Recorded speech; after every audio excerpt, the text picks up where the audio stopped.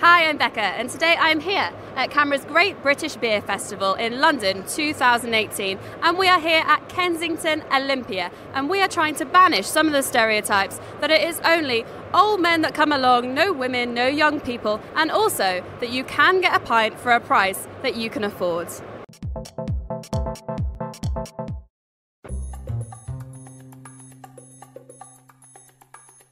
So tell me just a little bit about what's going on today.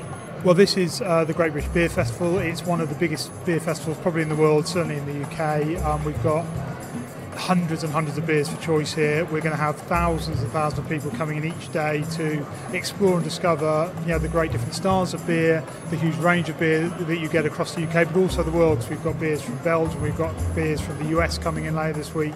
It, it's a one-stop shop if you're into beer or you just want to learn more about it. Um, new, a new snack brand, an Indian snack brand, but based on um, Indian street food. Uh, we've come today because we're um, extending our outreach to the beer community, the drinks community. Um, we've um, done a few beer festivals around the country in Manchester, Stratford upon Avon, and now we're in London. We're really excited. We're here for the whole week. Um, and we just want to reach as many people. It's a massive event this week, um, so it's great. You know, you want something spicy with your beer, like Indian food. You have a bit, uh, glass of beer. It's it goes hand in hand. So yeah, that's why we want. We just want to reach the beer community. We've been running the Beer Fest here for 40 years now, and CAMRA is coming up to its 50th birthday fairly shortly. Um, we were founded to promote choice. It was at a time where you know our founders were worried that the, the choice of beer was dropping off, that you couldn't get proper English real ales anymore. Um, and they said, you know, we need to do something about this. We're losing our choice in pubs and, and in breweries. And since they founded it, we've gone from maybe having five or six breweries in the UK to having probably just under 2,000 now, you know, and many, many thousands of beers out there. The range of beer styles has exploded.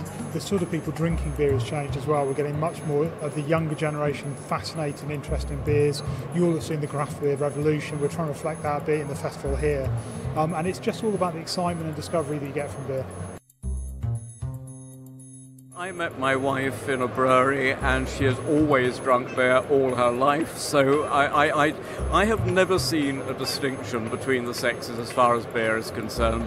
The, the public bar is the great leveller and it should be for both sexes, and, and as far as I'm concerned, it is uh, something that unites people passionately in, in beer.